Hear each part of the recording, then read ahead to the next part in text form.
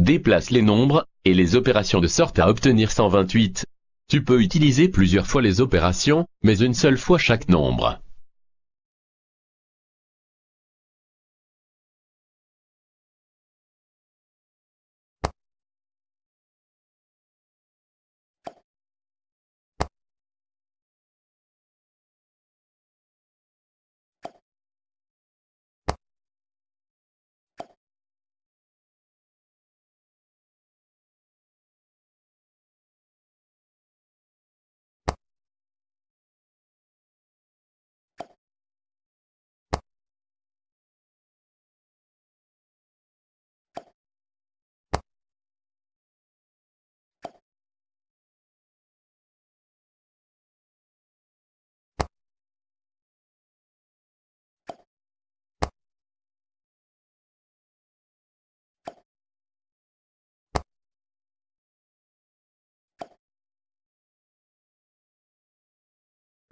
Regarde,